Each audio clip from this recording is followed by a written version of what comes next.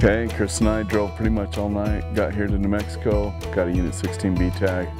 Uh, first archery, September 1st, starts tomorrow. So anyway, we're getting dropped in the middle of the wilderness out here. So we got some mules and horses. We're gonna be loading up and getting after it. I'm kind of excited.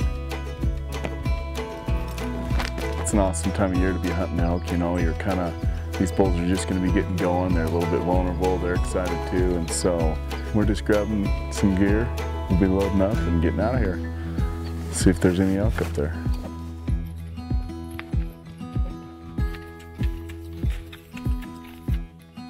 About a 10 mile horseback ride in here. So just plodded along up and down, went through some canyons and whatnot. We're just way back in here. Um, this is our base camp. We've got little teepees off to the side. We'll be able to sleep in those. Didn't see a lot of elk sign in here yet, so I don't know. See, it is early, but uh, it's gonna take a little work, that's for sure. We've kind of set up the tables and all the cook stove and all that, so looks like we're gonna have rain again tonight. Thunder clouds have come in. We've had lightning and thunder around us and starting to rain. So anyway, we're finishing up camp, put the lantern together and a few things, and then uh, I don't know, we'll see. Here comes the rain right now. So kind of crazy, but we're hoping for good things, especially in the morning. Tomorrow's opening day.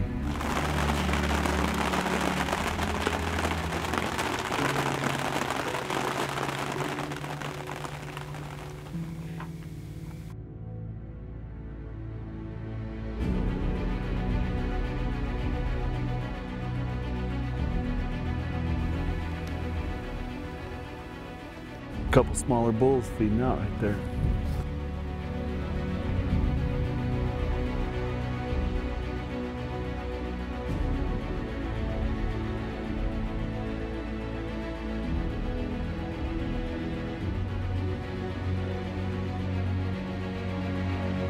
We're seeing a few bulls, rags and cows and a few things. Nothing great. Seen a black bear and a cub couple miles away and they were covering country like crazy. Pretty tough so far, nothing phenomenal, but there's enough that it keeps you intrigued and keeps you going. Saw quite a few elk. They're feeding out there in those rollers.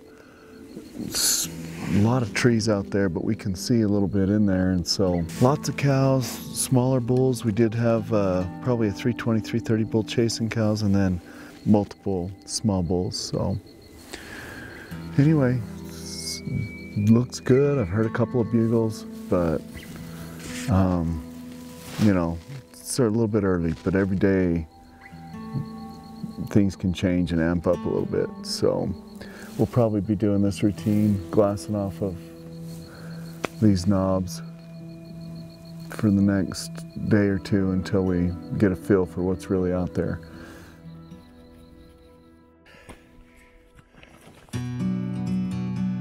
We're up and at 'em glassing, so every day's a new day. Chris heard a bugle down along the trail. and That's about it.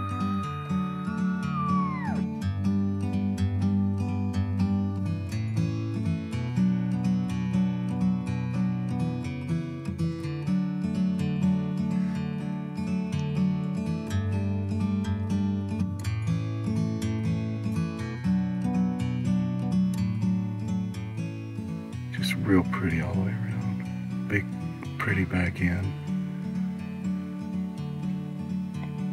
Not overly old, like gonna be a special bull someday. Saw that nice bull, he's 350 class bull. Thin, but whale tails, uh, weaker front end, looks like, and young.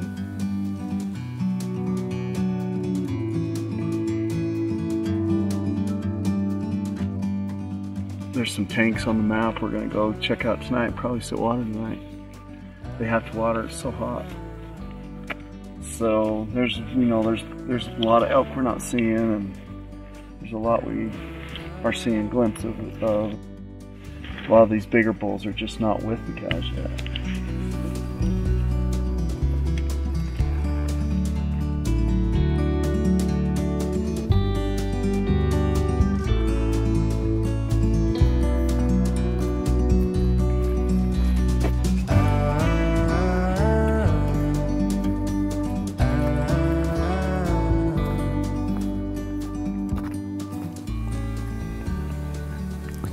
Laredo Pond that's on the map and it's got water. So a little bit of activity. Um, looks like mostly bowls, kind of big tracks. So we're gonna sit here this evening. A lot of country in here. We haven't been able to glass. We can glass the tops. That's about it, so.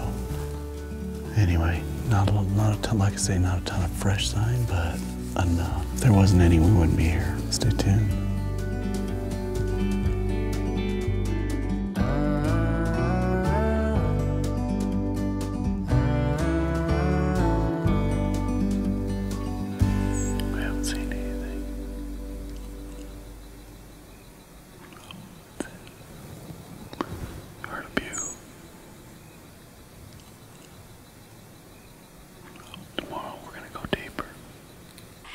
We got up an hour and a half earlier this morning. We're headed in. I don't know, it might be three or four miles. It's about that, I think, each way.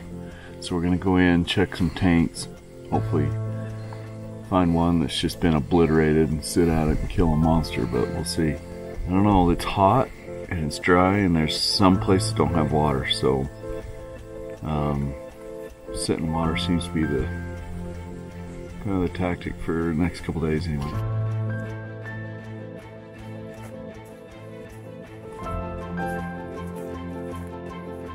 Came into this tank and uh, with high hopes we've lost a couple of bulls over here. There's no sign. There's no sign. Like there's not a track in the mud. So anyway, don't have to come back to this again, which is good. So on to the next tank. We did find uh, tank prior. Nothing at the tank, but then there was a dam a little lower, nothing in it, but just behind it, it's kind of a drain. There was a little bit of water there, and then we found some water in a rock pot. And uh, big rubs and stuff, but maybe one or two bulls using it. If you had the conviction it was a giant or what you were looking for, and you had him trail camera or something, you'd work it hard, but it's not in the cards for just a couple days left.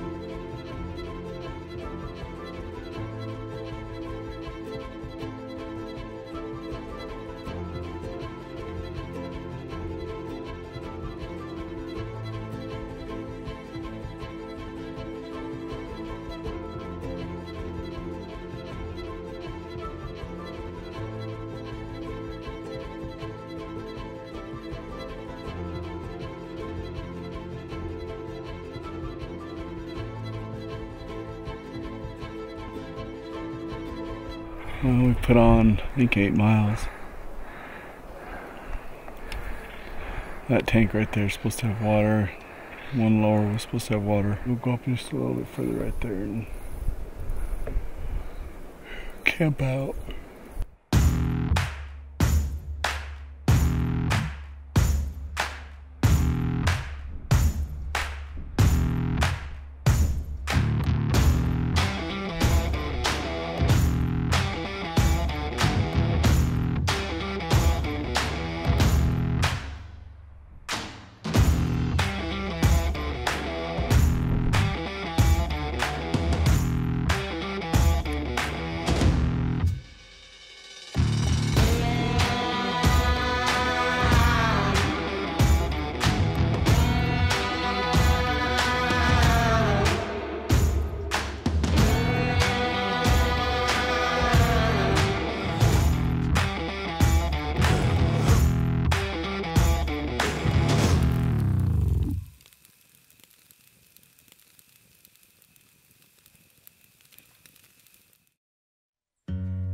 Gonna go sit a tank this morning and probably be a bust, but we're hoping for the best. That's about it.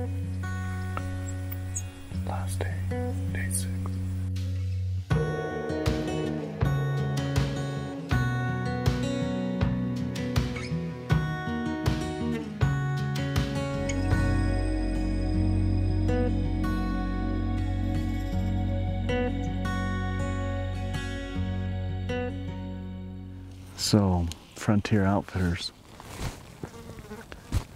Frontier Outfitters dropped us in here and they're like, anything you need, anything you need. Well, we need a case of monsters.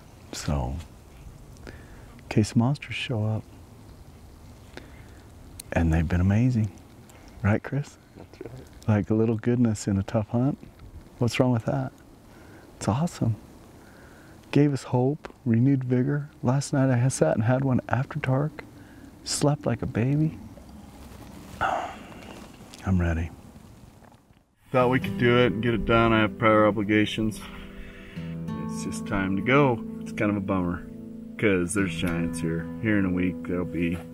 So tomorrow morning we're being pulled out. Tonight we're gonna go sit on a water tank. We feel like it's got a best chance at something special coming in. We last afternoon, sitting in a blind. Blind was made. Luckily we didn't have to make it, but uh, it is in the right spot. Wind's a little variable coming around, but what do you do? So we got a lower pond and an upper pond. We can kind of come see what's coming into the lower pond and part of it. So we should be able to see them and stalk or something if we have to. But I think we're on the pond with the most activity. So see how it goes tonight. It's last night.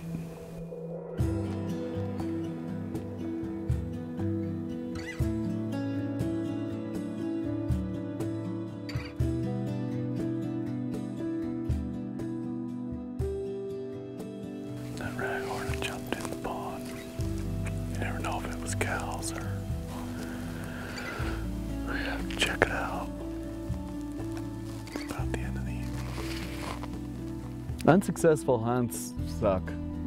Nobody likes to be unsuccessful. We all are uh, coming on a hunt, you know, with the goal of harvesting an animal. I mean, there's a lot of other things that go along with hunting. We all like to be successful in harvesting an animal. We're not successful in this hunt. We're not going to kill an animal. Um, some of that's by choice. We didn't chase anything. I mean, we saw 340, 350 type bull, huge backs, young, thin bull. You know, just needs a couple years. It'd be a shame to harvest him now. He may get killed before the end of the season, but he had just giant fips and just a beautiful whale-tail type bull, and he's going to be awesome. It's not a total waste. There's a lot of things that you learn, you know, when going on hunts, whether you're successful or not. When you're successful, yeah, you, you get to have the confidence of drawing a bow, picking a spot, killing that animal. Um, but you still have all those experiences leading up to the harvest when you're out in the field, even if you're not successful. So you continue to learn about the animal, you learn the country, you learn water, you learn all kinds of stuff. Just all of those things are in your head and help you learn about the game, whatever it is, deer, elk, antelope, whatever you're hunting. So, you know, yeah, we're unsuccessful. Is there things that I do different next year if I drew the same tag? Probably. But I learned a ton, and you can't take that from me. Never a bad thing to go on a hunt. Not so fun not to be successful, but it's not necessarily the end of the world because knowledge all comes together and as you get older you're more effective i mean there's just so much is gained on every hunt that you go on and uh, it shapes you into the hunter that you are and, and whatnot. So although it's terrible we're unsuccessful and the, and the hunt was a complete waste we gained a lot from it and it'll definitely help us be successful in the future